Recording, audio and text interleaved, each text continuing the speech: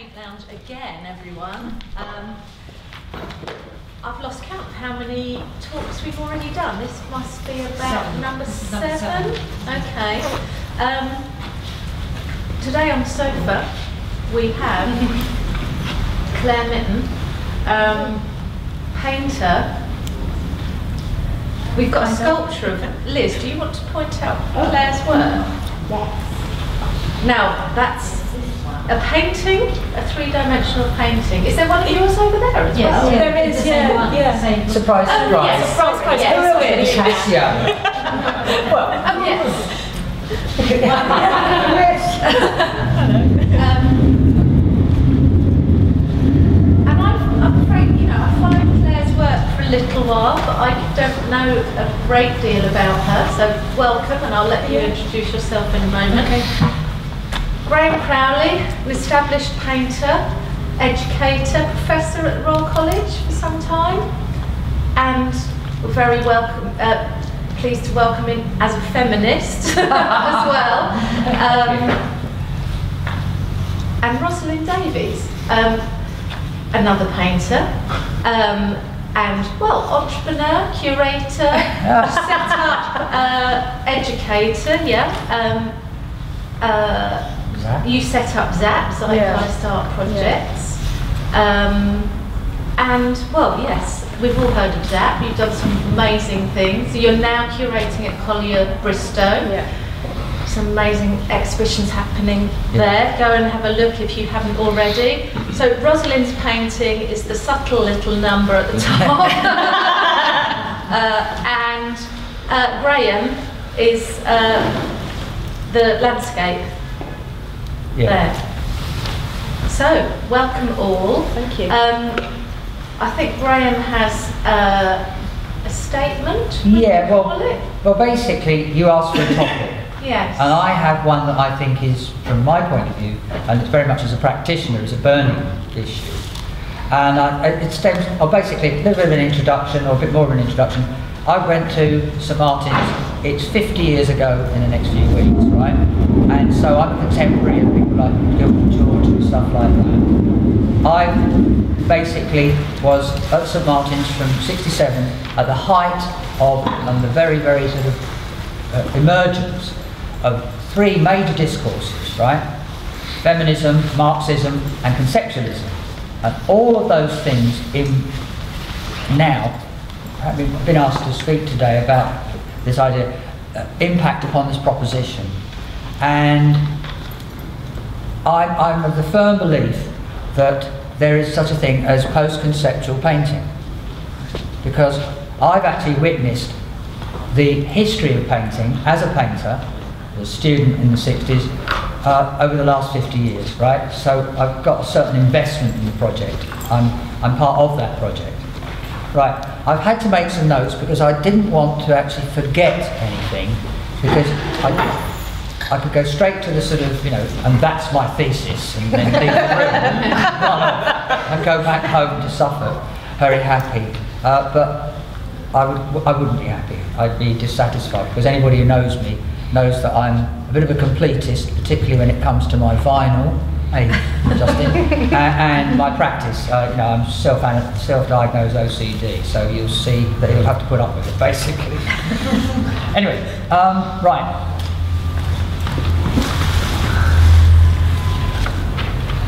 I'm convinced that there is such a thing as post-conceptual painting, and it's it's a phrase that sort of seems to be at the edge of uh, the discourse, and that's another issue. I believe painting is a discourse; it's not simply an activity. That's what distinguishes it from decorating or uh, damp proofing and stuff like that. Okay. Um, I believe there is such a thing as uh, post-conceptual painting and very very sort of I'll, I'll explain what I mean by that and then I'll give you the reasoning behind that okay? Because the reasoning is much denser than the definition as you can probably imagine. Basically it's not just painting that's happened since the 60s that would be just painting. And using Sturgeon's law let's face it 90% of everything's rubbish. You know that's uh, Sturgeon is a science fiction writer by the way just in case needed contextualizing. Um, but there's another pa- painting I'm conversant with, And I think you've been curating, it's been reflected in your curating, and you can speak about it later, it's reflected in your practice. Um, and that is, there is a kind of painting that is, has embraced and acknowledges the legacy of conceptual art. As you're well aware, there's a lot of other people who think, oh God, it's all gone to hell in a handcart. And this comes, this is, this is, this is manifestly obvious. Every time there's a Turner Prize, somebody will stand up, uh, uh, he'll know who it is, and they'll stick a microphone in the face of some celebrity, for want of a better word, and say, do you think this year it's conceptual art or painting? Now, first off, that not only is that a false dichotomy, you know, do you like cheese or sawdust? You know, or do you eat cheese or sawdust rather? Um, but it's also it, it's also disparaging and offensive in so many in so many ways I can't tell you. And having been witness to this history, this evolution of painting being declared dead in the 60s and being marginalised, punished for its alleged hegemony, you know, seen to be dominant and, and, and uh, wrong-headed, etc. Um, it's, it, the inference is that the, the new technology carries with it a new intelligence. The old is bad, the new is good. Now that's a kind of hangover from late modernism and is kind of sort of knee-jerk and lazy journalism in my opinion. You'll excuse me occasionally when I look at my notes because I don't want to just, I can ramble for Britain, believe me. um, yes. Um, okay. Right. As a, as a student in the 60s when conceptualism was pretty becoming the, a, a dominant discourse, I think, the two dominant isms, as I've already stated, were feminism and Marxism, and that's really shaped those discourses. Incidentally, I'll, I'll I, I want to discuss one element of the impact that Marxism had upon conceptual art. All too often, we are led to believe that um, the YBAs are somehow, you know, the sort of uh, the, the grandchildren of Duchamp, right? And they've embraced conceptual art. I think that is hogwash. I think that is PR. I think that is, I just don't buy it. They are the children of Thatcher. They are not the grandchildren of Duchamp. Uh, I don't want to get into that now, but the whole thing, my, you know, one of my many hobby horses, etc.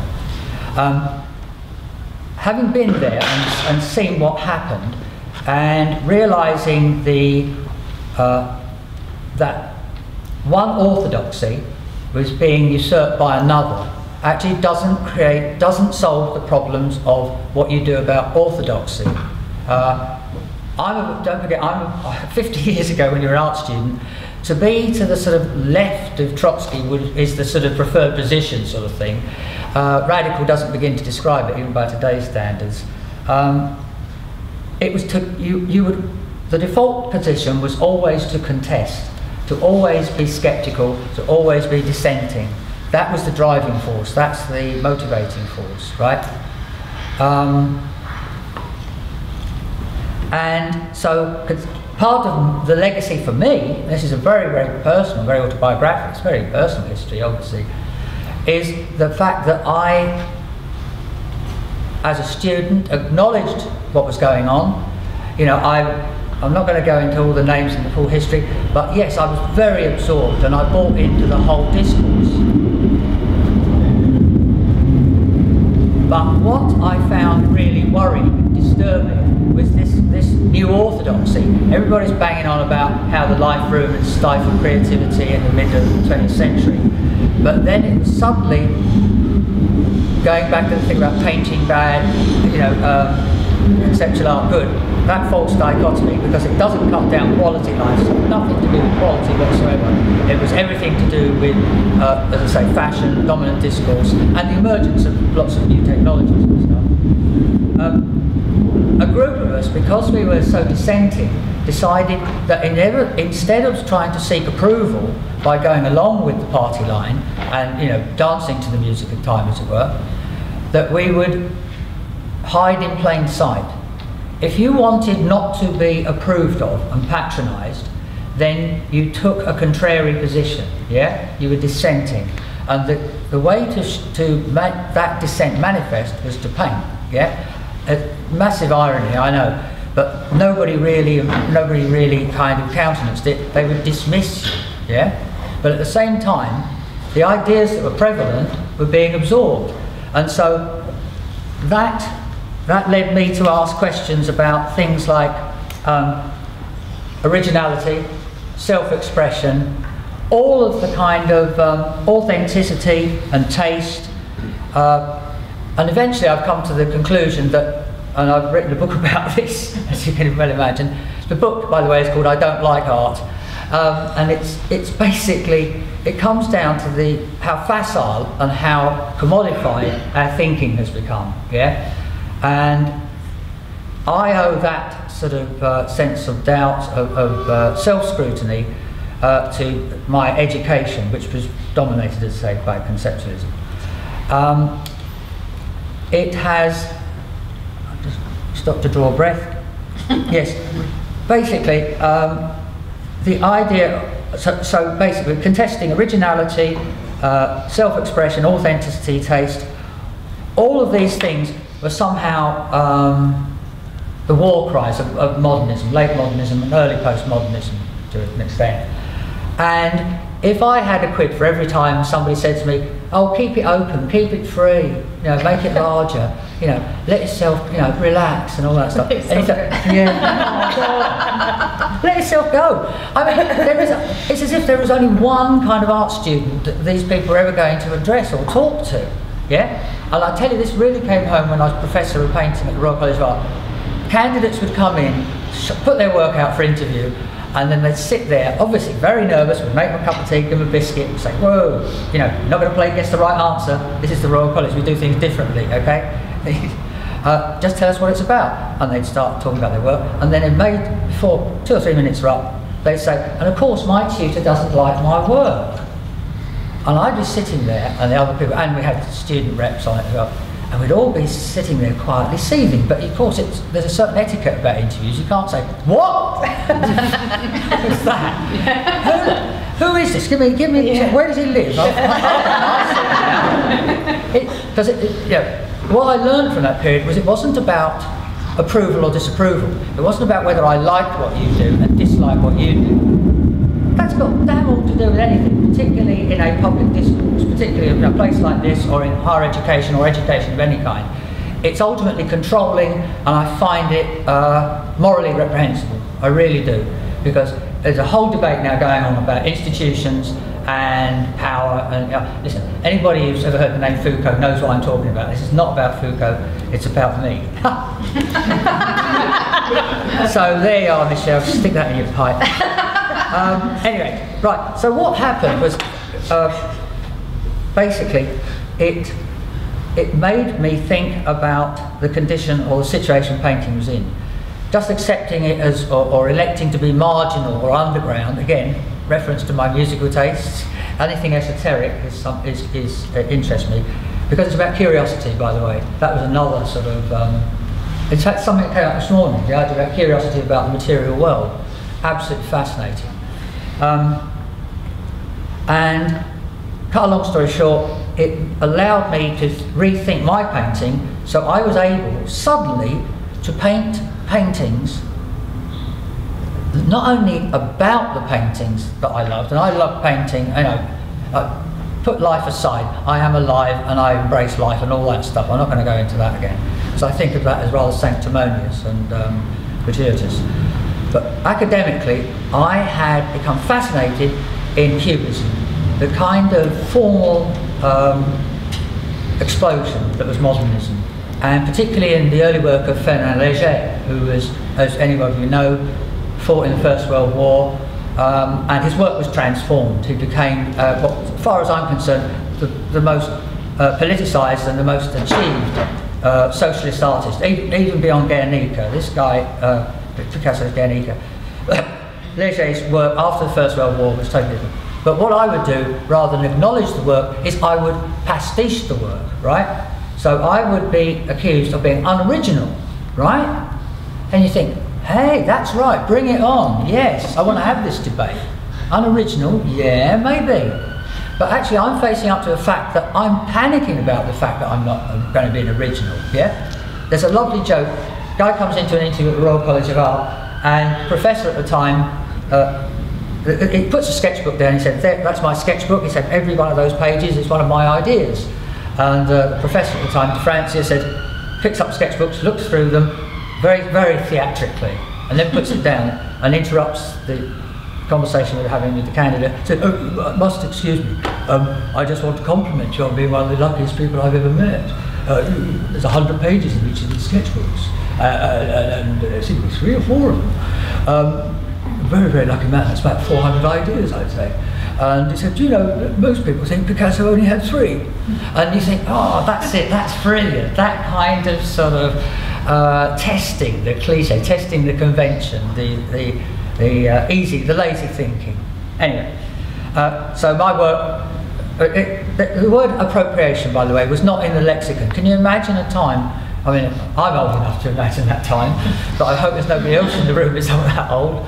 Um, but it was it was a paradigm shift is try, but it, it was a sea change. It was a real game changer to know that it was okay to actually love other art, particularly painting, yeah, and to find that your relationship with it could be almost unhealthy, yeah, because my relationship with just about everything is probably pretty unhealthy by most people's standards.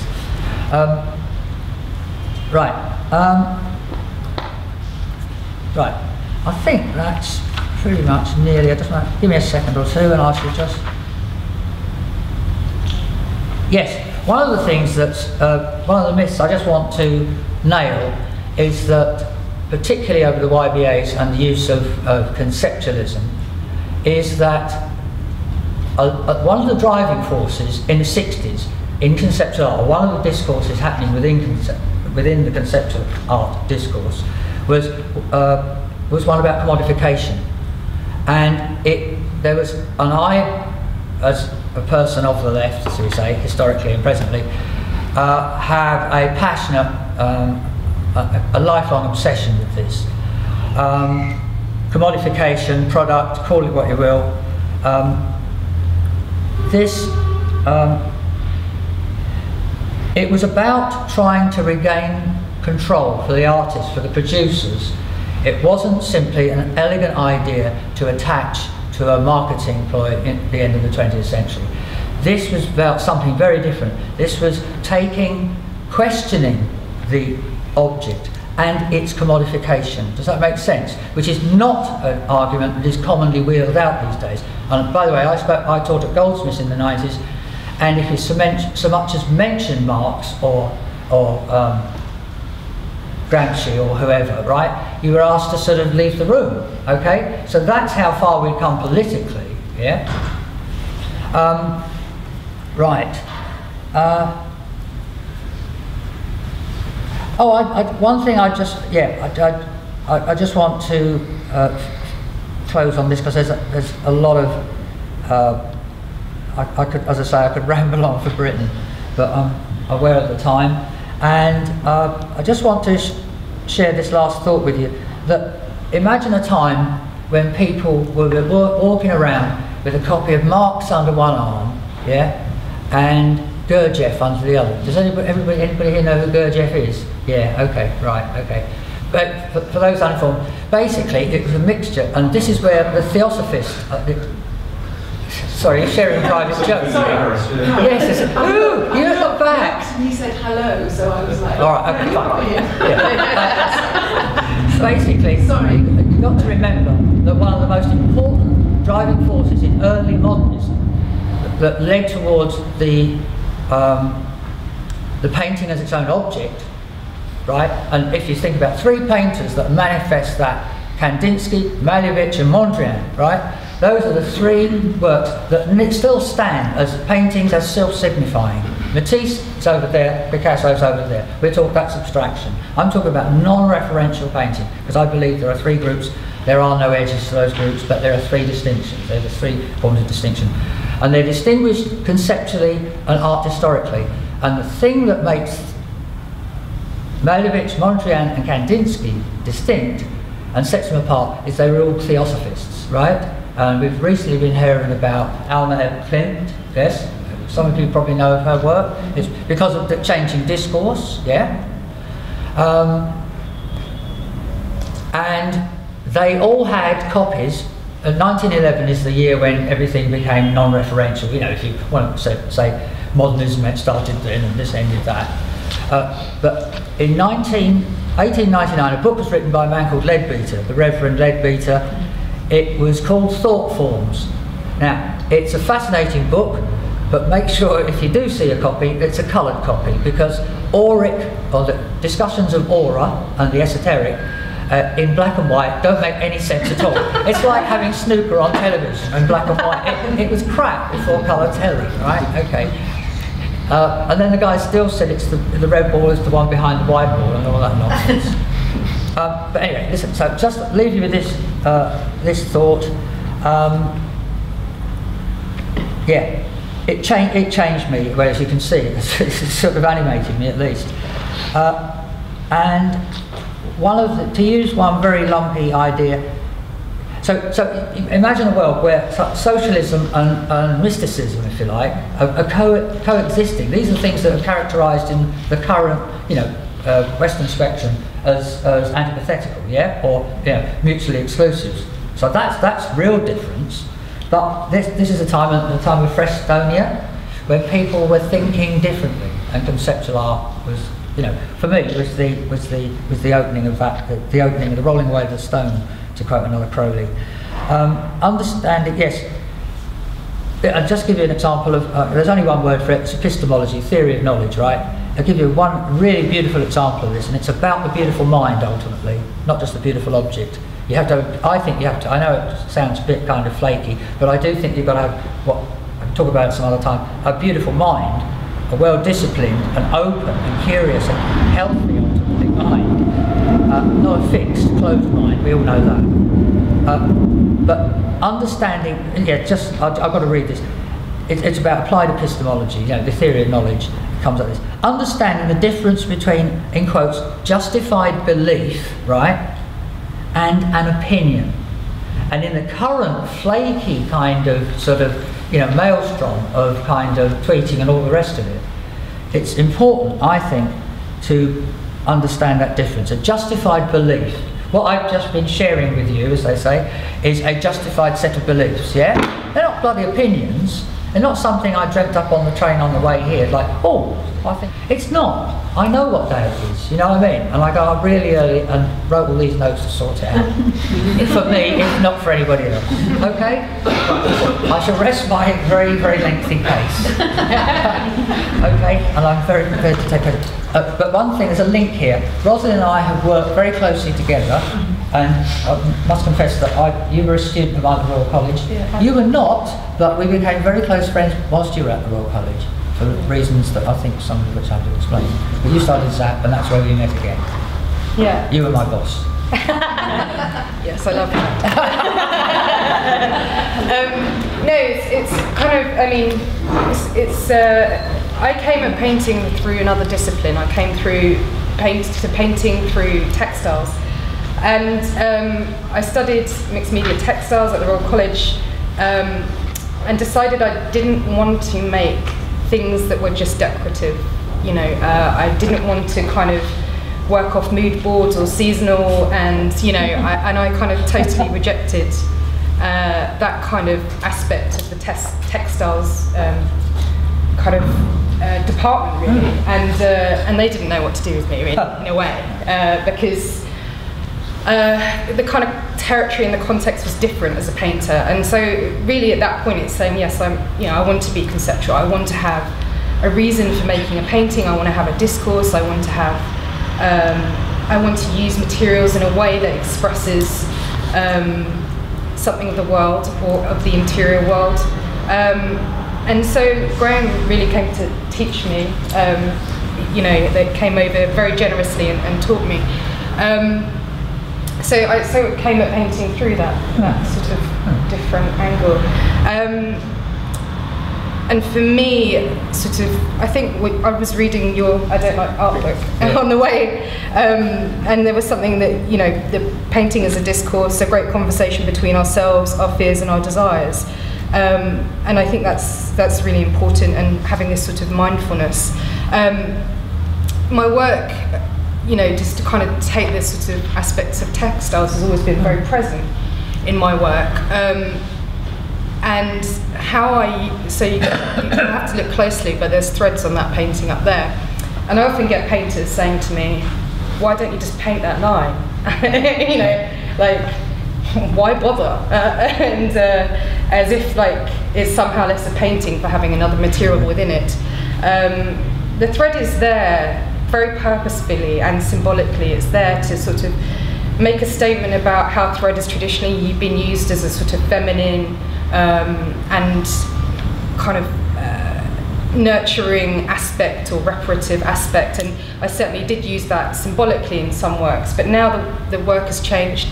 Um, and it's much more about puncturing a, a, kind of space, and that space is not just the painting space, that is also the space of uh, the art world, of the painting world, of a world uh, that I now inhabit that's kind of the abstract, abstract geometric world in a way, uh, one that is, and the architectural world. One predominantly, all of those are predominantly male oriented. So me having a presence as a woman and not sort of sitting quietly and saying, oh, um, I'm an abstract painter now or something, you know, it's, it's sort of ridiculous. Mm. Um, and sort of saying, there's kind of many aspects of that as a curator, as an educator, um, but also as a feminist to sort of say, I'm sorry, but you don't have enough women in this show.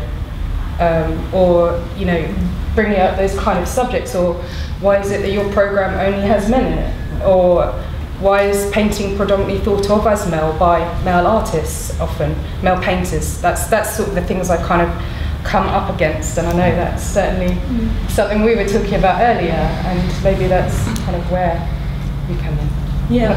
well. Okay. So, um, bit of background for me quickly um, is that I studied painting both at BA and MA. Um, and on my BA at Cheltenham, it was I think it was uh, probably known as a course that had a, a you know it was quite a traditional painting course. But within within that, um, very quickly, I really enjoyed pushing this stuff around, but I got in a hell of a muddle. Didn't really know what the hell I wanted to paint. So it just became this frustrating kind of activity, mm. really, of just, you know, enjoying the, the gunk of it.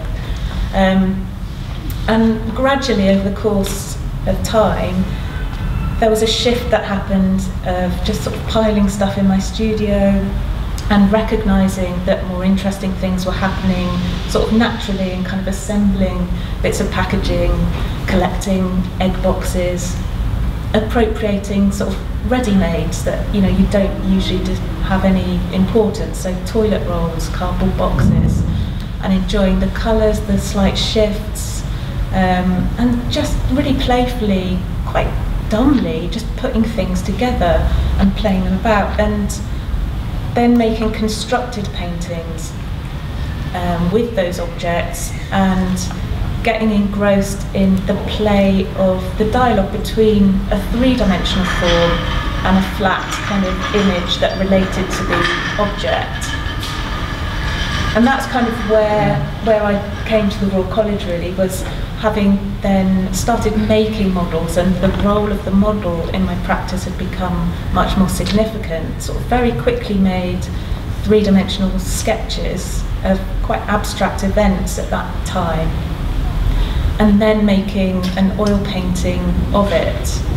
Um, and then actually at the Royal College not really making painting at all, just making these kind of objects. Um, and and now I guess yeah I, I, I consider myself to have come through this territory or this discourse of painting where I feel very at home. But at the same time I'm very reticent to call myself a painter because I'm aware that I make these objects and they're not you know conventionally painting on canvas. And I have come up against this thing of you know oh you're not a painter painter Clare you know and I, and I, and I, yeah, I find that kind of um, dismissive and hmm. problematic, mm. um, and anti-discourse, yeah. really. Um, and that yeah, like sometimes that tends to be a kind of male perception in my experience. Um, yeah, so something, I guess, the objects that I'm interested in, or my process of making, which probably links this idea of my understanding of post conceptual painting, is this combination of linking together the idea, the concept, or concepts, and the process of making, and like how those are. Um, they're kind of woven together and they're not kind of able to be separated out.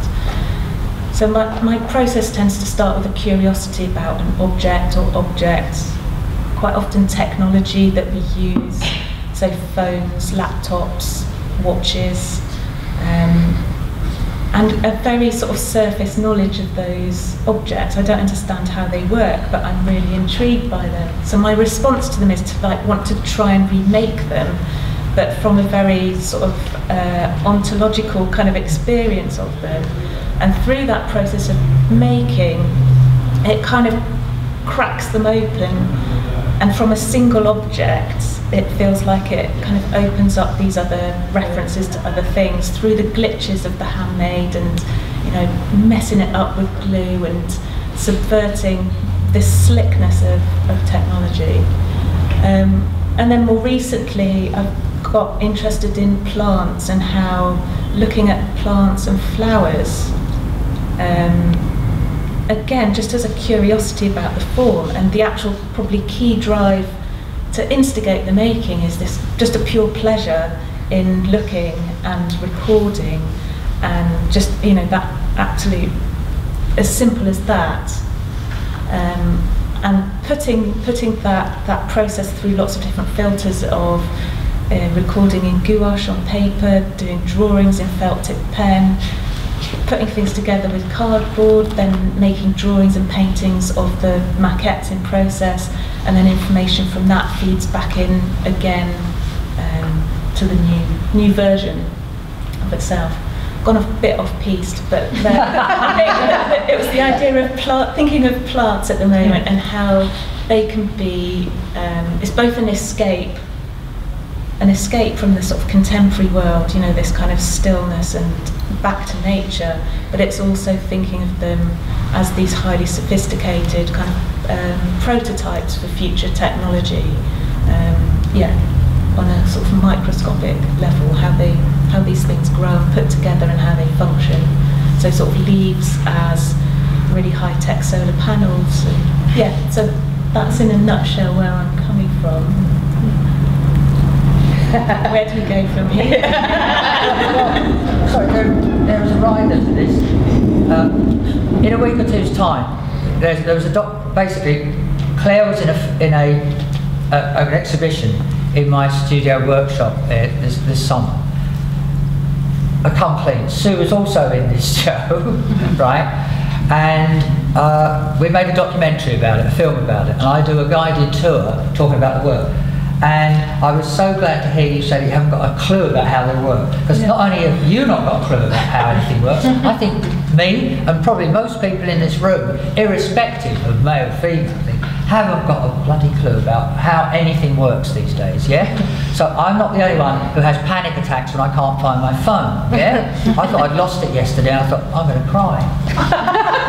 this is pathetic. I mean, I'm of the generation when my kids say to me, so dad, like what happens when, before you had mobile phones and you had to go to an appointment and you say, when you couldn't phone up and say, oh, running late, see you in 10. Well, no, you, you, you couldn't do that. You had to be early. I mean, I got here at 10.30 or something. exactly. For one of you above. Yeah. so, so this is, the, sorry, that's that's the testimony itself for me. By the way, the show show's called A Table of Elements, and it was 20 contemporary painters or people who work within a, the painterly discourse. But correct me if I'm wrong. I think almost half of the things in that, you, just you, yes, you were in that show as well, yeah. And uh, there are some people, I'm not one of them, who might say, well, is that really painting?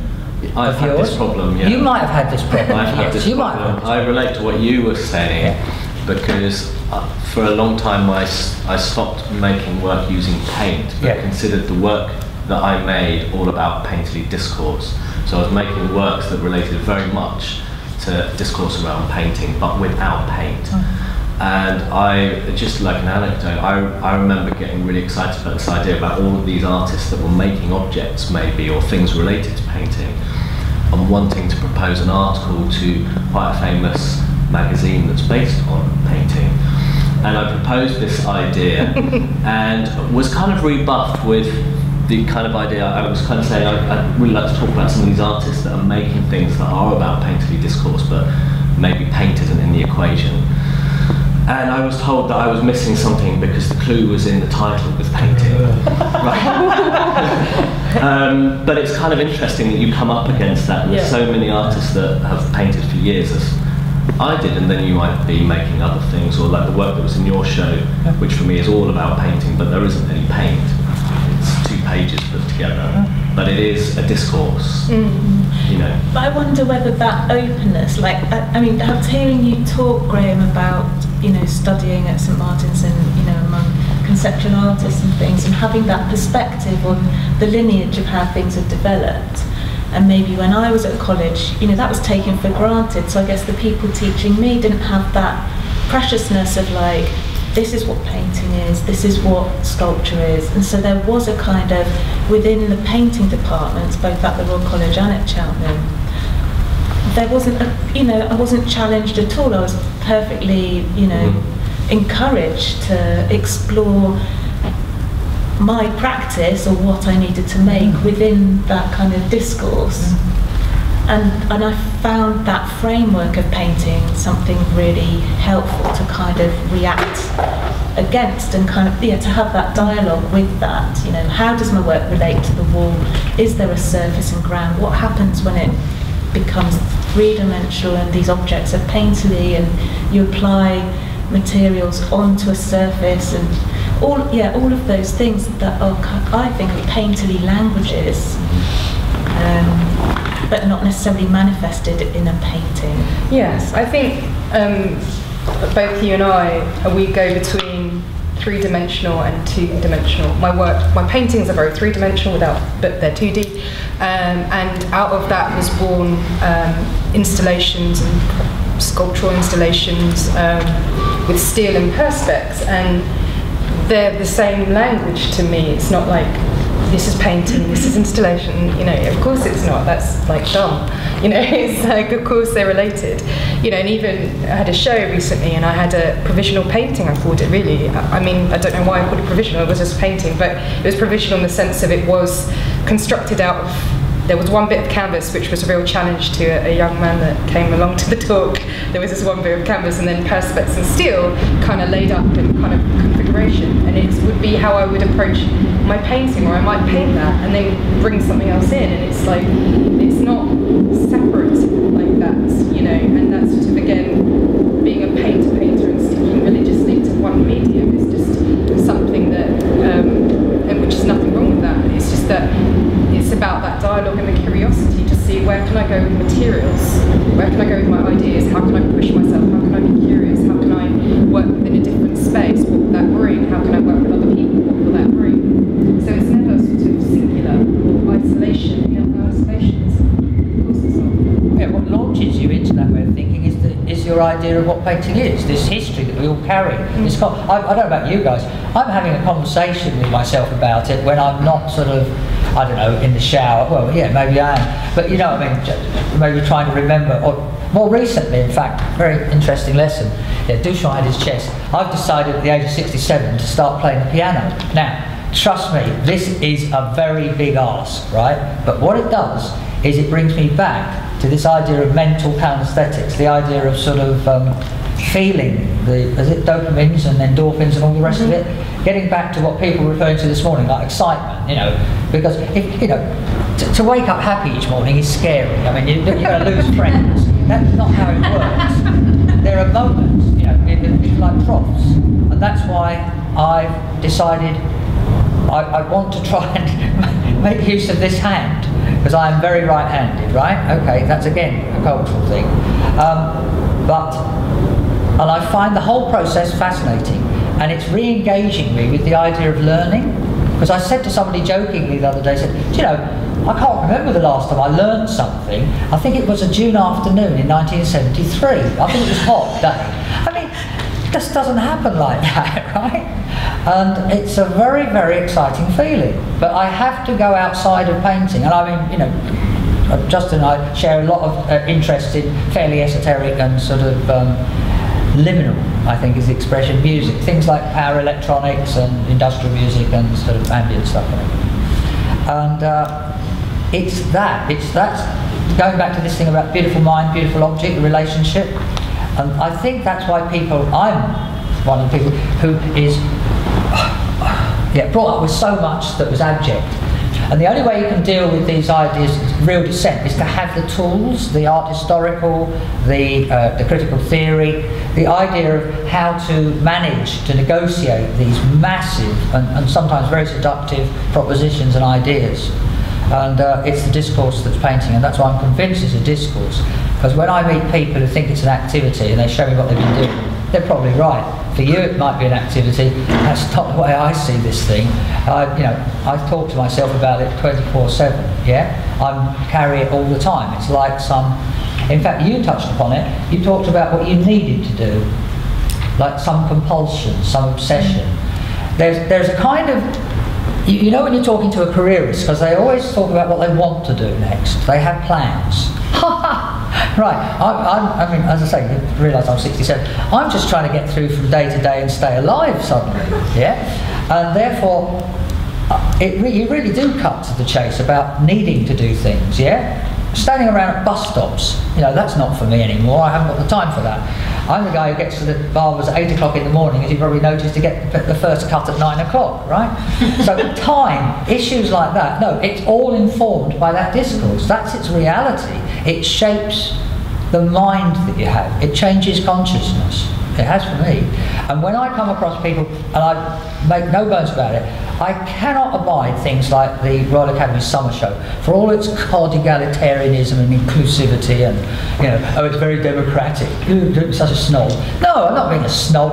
I just, I just can't abide the idea that three or four people who don't, don't know what's going on outside of Burlington House sit in a room and and choose what they like and then stick it on have the audacity to put it on the walls and get the media in to actually bray over it. I mean, am I the only person in the room who actually seems to sort of have a problem here?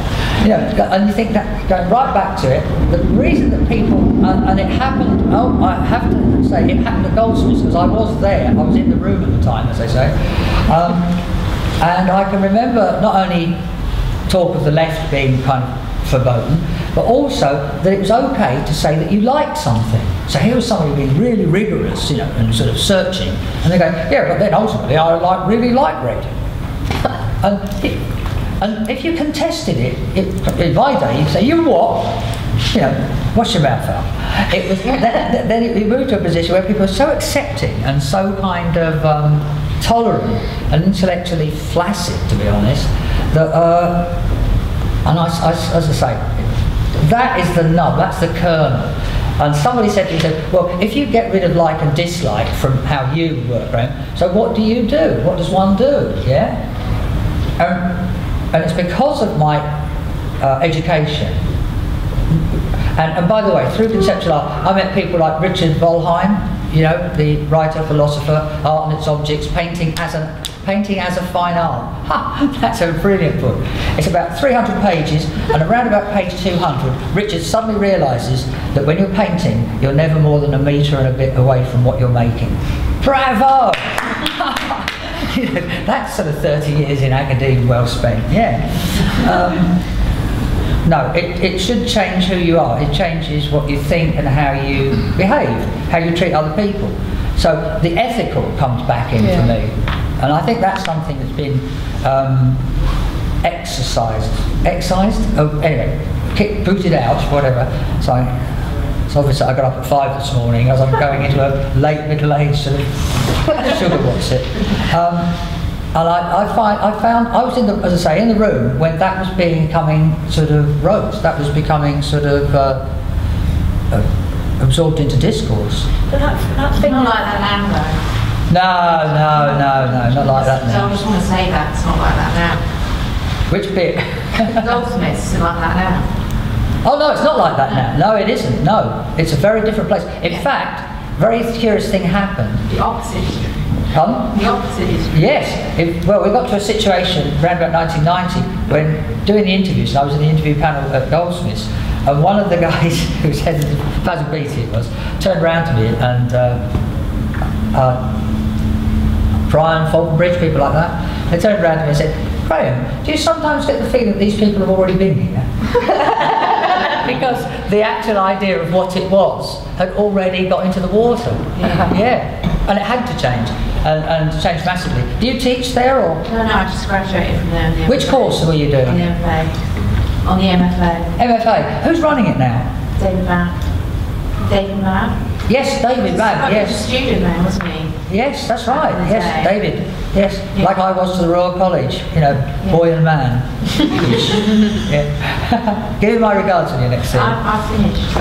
Well, you'll, you'll see him. He's still alive. Yeah. Yeah. That's an interesting statement. No, I'm, I'm finished. I'm I, out there. I, I'm grown up now. I'm fully qualified. Yeah. I'm fully qualified. You make the work I want to make now. Yes, my life's my own again. Yes. Yeah. Good luck. But that thing of, I, like, I don't know, maybe to be a bit contentious again, Yeah. where, like the, No, the don't. like dislike thing. I think there is a, you know, coming out of college when you suddenly go, oh fuck, you know, Yeah. I can make what I want to make, Yeah. but then that that is the starting And you don't point have to of a- justify. You don't have to justify it. You don't have to justify. it. There's to nobody in the room. Yeah, there's nobody in the room, but actually, in a way, that that seems to be a really positive starting point. You know, like a really genuine Yeah. instinct, I guess, of oh, that's the drive. That's you know, that's what I like, or that's what I find aesthetically pleasurable. That's what I'm going to do, and then out of that like little kernel comes this other stuff. Or I guess asking the questions like, why do I like that? Yeah, why exactly. do I exactly that? yes, yes. Yeah. Follow it up a bit. Yeah. Isn't Phone it, it in. isn't it that a lot of ideas come out of making? Yes. Yeah, That's Of course. ex- that, You yes, start yes. with the stuff. Mm. exactly. Uh, you go on a journey, Yeah. and then ideas. You you're curious. Uh-huh. Yeah. You, you pull, and I think artists are sort of like magpies as well. You pull a bit of philosophy. You pull a bit Yeah. of nothing. But you're not a theorist and you're not a mm. philosopher, and I struggle with many heavy duty lecturers which I think, oh God, I really wish I'd read the whole of Heidegger before I got here. Yeah. This morning. But we do that, you know, Yeah. and that doesn't mean that we're amateurs, it means we're Yeah. just after something else. Yeah. But the process of making, I think, is the thing that drives the Yeah. work and the curiosity and the intelligence. Uh, yeah. Because ideas are visual. Yeah. They're Yeah, not the intelligence- texts. No, quite. Visual. In fact, that's what you do, is you are somehow um, filtering all the time and mediating this, the, these ideas, for want of a better word, propositions and texts and all the rest of it. And it informs how you behave, right? Okay. And that means what you invest the object with. Yeah, what your intentions are, and maybe morally and ethically what you need to do, rather than being product or commodified, as I, which is why it worries me so much, because you think, oh God, I've got to make some red ones now, you know, or I've got to make bigger ones and be freer. Oh, good, oh, help, let me out now. I think there was a really uh, fantastic um, talk that you, it was at Juan's show um, Oh, in yeah. Canvas and Cream. Um, there were a lot of, um, which is su- suspiciously low low amount of uh, male painters here, but um, at his there were a lot. Um, and uh, there was this whole Ones, yeah, Yeah. his, ones. Juan's, Yeah. yeah. Um, and Juan makes these exquisite paintings. You probably know his work, um, and You uh, familiar with it? uh, and they're very they're very humorous and, and, and they're very precise. Yeah. Precision is everything with with Juan, um, and it's and it's wonderful.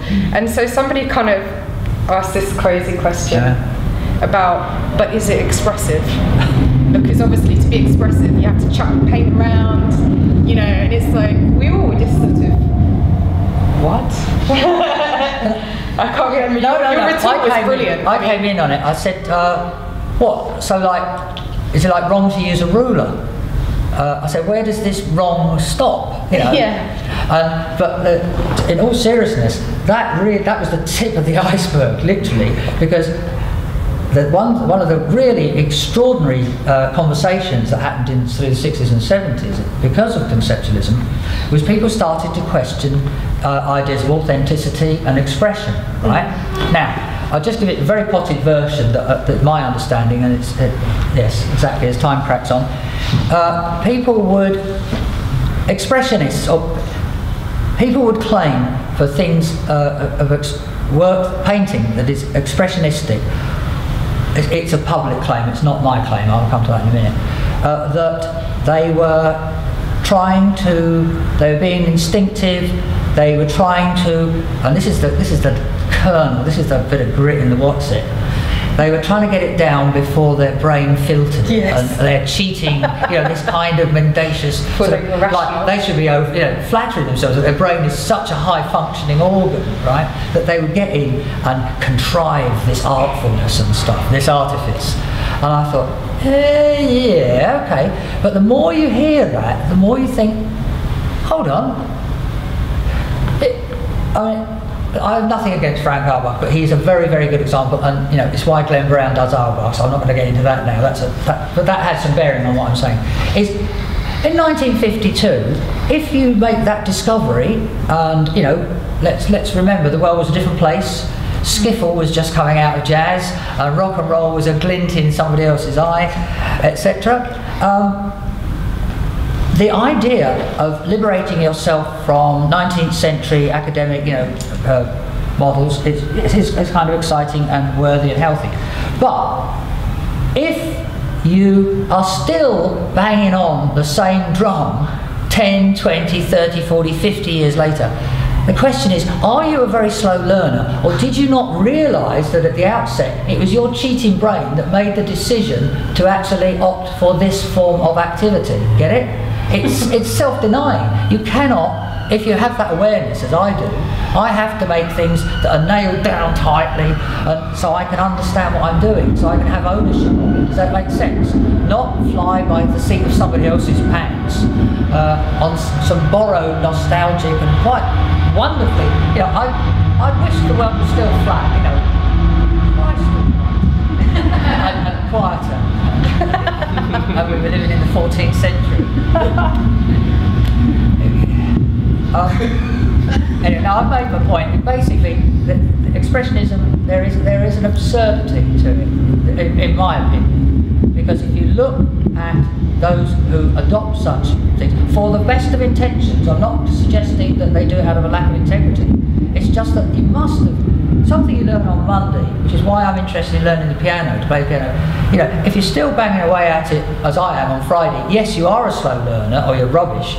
Uh, I'm sorry between the two. Uh, but the idea that a whole world of discourse, the idea that sort of integrity and expression can be um, embraced by this fallacy, I find unsustainable, untenable. And I can only think like that because of the education I had. Does that make sense? And, and that's what I've tried to pass on to people when I meet them. And it, you know, it's, it's, it's what I think distinguishes the, the college and, and the things that we've been doing at ZAP, because uh, Justin's involved with ZAP, for those of you who don't know. She's our boss, aren't you? Boss. yes, yeah. I was your boss as well once. Yes, yes. I'm not going to get into who's who. who's whom's mentor, but that's another, I think that's self No, yes, no. Anyway, Well, shall Oh, we open it yes, yes, yes, Uh, has anyone got any questions? Probably. Just, Yeah. just to the pot, yeah, go for it, yeah. Um, Man after my own heart. um, I, uh, I, I don't really um, kind of like if I made a collage, then I'd just say it was a collage, and if I made a painting, I'd say it was a painting. And there's been yesterday there was this kind of chat about I made this painting, but there's no paint on it. And I think, well, it's not a painting, is it? You know, as the man. So, No, no, no. so what, what you're saying is you subscribe to the idea that painting is an activity. um, I think that you can have a discourse around painting by writing, but you're not going to say that's a painting. We're having a discourse around painting here, but no one's going to claim that we're making painting now, or maybe they are. So if you're having a discourse around painting by making some other object which isn't a painting, Yeah.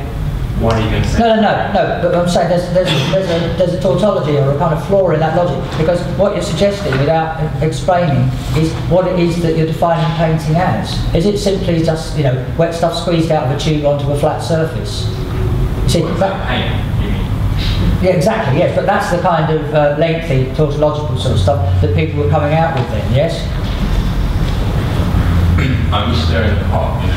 yeah, okay. yeah. What I'm saying is, I've, I have been standing around that pot for the last 50 years, and that doesn't really stand up to scrutiny because what I think about when I think about painting isn't simply paint.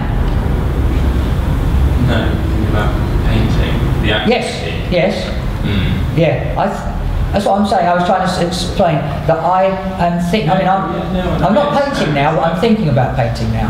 Yeah, yeah, but you, but you, yeah. But that's the legacy. Yeah, but hold on. Yes, but that's the, my point. Is that is the legacy for my generation of conceptual art. It's changed that relationship between an activity and an idea, if you like. Mm. And that's why I, I personally, and I think most people I've met recently, think of painting as a discourse because I can shut my eyes and I can see painting. Yeah, I can think about painting. It's And I, I, as I say, I've been around, I, I've seen it being declared, things like painting is dead. I mean, that was a, that's, I mean, it's laughable. But what was fascinating was the idea that it was, painting as an activity was deemed. Does that make sense? Because people were very much locked into the idea of describing uh, creativity through the media that was being used, yeah? And in fact, that's why it's led, just going a little bit off piece at present, to what I think of as ludicrous propositions, where you have, I, I think of the painting department I worked in as having a history and having an illustrious discourse, yes, and, and history. Uh, but when I think about printmaking, I think of a process. Do you know what I mean? I think of that as differently defined. That's all. I'm, I'm thinking like my, I guess my practice in general I describe within a painterly kind of discourse. But the, in, in your kind of term of reference, I guess, the bit of my practice that you would say is painting is where I might record an object with gouache on paper and that would be a painting. But actually when I, the function of it, it within my practice is more like I would define it more like drawing, like Yeah, that yeah, action. yeah. It's like, you know, the way I use paint and the way I, you know, put it on paper and the function of it. And then the object that usually comes out of a combination of all these things is much more like painting in that it's kind of a crystallization of an activity that's fluid and in flux and kind of wet, if you like, and then it kind of dries into this kind of solidified object. But it's metaphorical because it's just the ideas that mm. do that behave like the process of painting, but it's Yeah. not a painting No. in that kind of definition. No, no, that's what I'm saying. I, No, I, that was I, I'm very, very. I think painting is a discourse. I mean, that's really clear. That's, that's, that's what I think. You get it? Uh, you, it may have a different definition, but I think painting is a discourse. That's what I think, anyway. What is it? Yeah, when you make a painting, that's you all have a conversation with that thing that you're. That's the kind of, and that's constant when you're in front of it. You're reacting to it, chatting with it in a sense of make like it's sort of telling you what to do. But so are collages, so are drawings. No, so I know.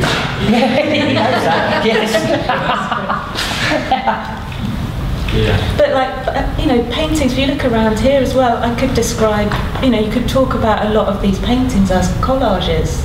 You know, they're lots of fractured pieces or compositionally, they're kind of ideas or bits of images collaged together. So like, where does one discipline start and the next start? Or It all depends on the Yes, filter I'd that you're, set- I'd the lens for- that you're looking through. Yeah, I've just settled for that it's other than an activity. There's something that distinguishes it from just getting stuff out of a tube and sticking it on the wall. I think it's just all the point I suppose I was trying to make. I just think it's interesting that so many people aren't using paint, but they're Yes, talking about. they're talking about painting. That's that's exactly my point. Yeah, yeah. Doesn't, doesn't the, uh, I mean, intention comes into it, doesn't it? So with your intention when you're using certain materials, that comes into to what you're trying to say.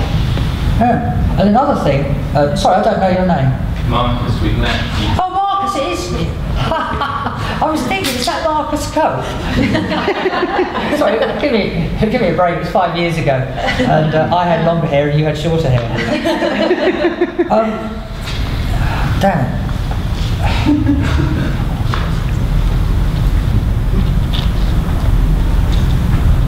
Uh, it'll come, it'll come to me later. Intention. Sorry. Oh, sorry. What were you talking about? just then? Um, I was just saying, you know, the, the, the material, like, because I use a lot of graphite in my work, and mm-hmm. and you could call it drawing, but when I'm making the work, I feel like I'm making a painting, mm. and I feel like I'm intending to to say something Yeah. because that's because I feel that it's it's speaking, it's saying something, and I think that's probably what you mean about the discourse. You know, I feel I'm I'm I'm trying, or the work has a voice. And so I just bring in the, the, anything that I can use in order to say that thing. And it doesn't really matter what you bring to it, you know. Actually, yeah, that's what I wanted to pick up on, because was the, um, I identify now quite willfully and deliberately as a painter, yeah? And if people call me an artist, I, I can get quite prickly. Get it? I just, I have, I've, why? Who said that?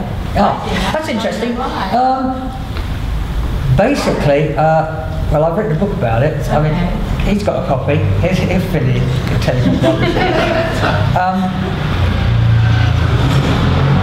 I'm just trying to think of a short answer to that that doesn't take the rest of the day.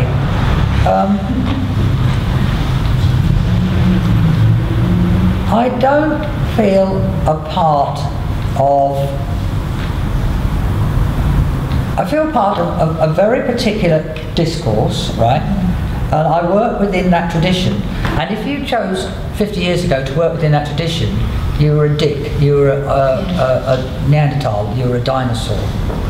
But now, rather like the thing about the interest in materiality materials uh, this morning, things have changed massively. And also, you know, the thing I, I talk about, uh, forgive me, goldsmiths, long time. What do you want? Because I think there's also, um, you know, there, there are paintings which lots of painters would probably say they're not paintings, like spot paintings or anything Marc Quinn's ever made. Yeah, well, that's yeah, well, That's paintings are still interesting. Yeah. That's interesting because other people paint his paintings, don't they? Well, regardless, I mean, they do, but Well, yeah. And Should there's still- I should have let that one before? Sorry, Marcus, what's your point? Yeah, go on. I'm sorry, I'm trying to. Sorry. Well, I I suppose I'm standing up for making a collage and calling it a painting because I, we look at some paintings and think that that's not painting in a mm. sense. But hold on, it's, that's- it's just it's a manufacture of an idea sort of that, that doesn't have any other sort of heart of a painting. Although um, that's just my opinion. That's the questions of authorship. Justified belief. Yeah. Um, I just think there's, that, like, like I said before, you, that, that there's a kind of call and response with the painting. Like you do what the painting tells you. That's how I approach painting. You put things in, you take colours out. You know, there's Yeah. a kind of That, that, that, that's about the procedure. I don't identify with that procedure. It's as simple as that. I don't. I understand what you're saying, and I respect it it's different and o- you know, other and all that stuff. But I, I'm being very partisan. I'm talking about my practice and my predilections. Does that make sense? Yeah. Yours are different, and I respect that, and I know they are. Yeah, and that's fine. Yeah. I just, uh, I've just witnessed so many people use painting as a whipping boy, yeah, for all of the ills of, uh, of, forms of public discourse, you know, moral decline and things like that. And uh, that I I identify with it, you know, quite passionately, as I say, and I differentiate what I do. Uh, I, I would suggest I differentiate this, this, the spot painting things. I don't, I mean, yeah, they're paintings, but I've got, I've got some crockery like that. I don't care really. You know, I'm seriously that kind of diffident about it. Uh, I'd rather spend my energy on engaging in something that was important or that I needed to engage with rather than something that happened to already exist. That's, that's my position politically about it.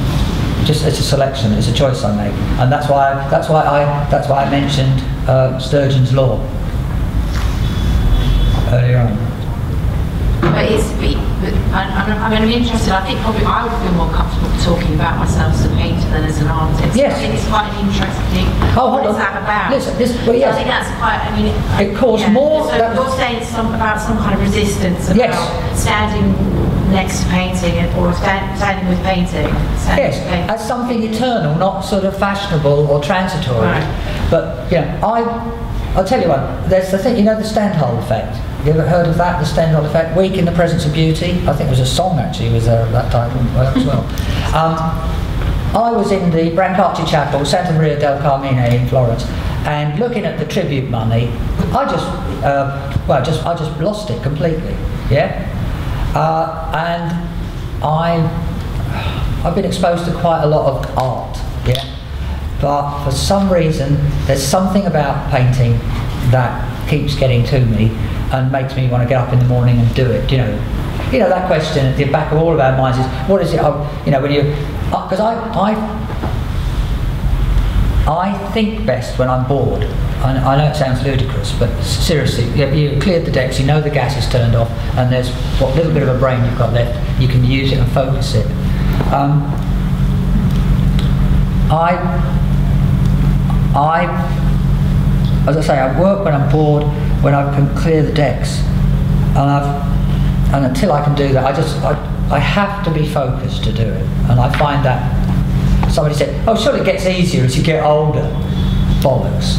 No, it doesn't. Because what happens, just as you're beginning to get the hang of it, the, the, the, this is why they're learning the piano thing, the kind of stuff that's got the hang of it starts to go drop out, so you have to, have to make an effort. Is that a good place to finish? I think it is. Say, it's not about agreeing. It's not. no, Sorry, was. That's where I came in. There was a consensus that the right thing to do was to abandon painting. Right? That was a historical moment where 98% of the intelligent voting sort of enga- engaged characters went off and abandoned painting. Yeah, and it atrophied because only 2% of the population, relatively speaking, doing it. And most of them are doing it out of habit or as a displacement activity, which is something you were beginning to discuss. So you all got a different, you know, got to be vigilant about. Uh, yeah, anyway. Can I just say thank Yes. you so much Yes. for organising Well, thank these talks, Yes. um, for, for organising this ex- exhibition and uh, all the talks. Quite. It's so generous and uh, It wasn't just me. I know it wasn't Wendy. yeah, Wendy, Lindsay, and Rebecca. Yes. Yes, Yes, Paint thank Britain you. Paint Union, Contemporary British Painting, it's fantastic. Yeah. Um, so I applaud you because it's a lot of work. Uh, and it's been so interesting and inspiring. So thank you to Yes. you. Yeah, you.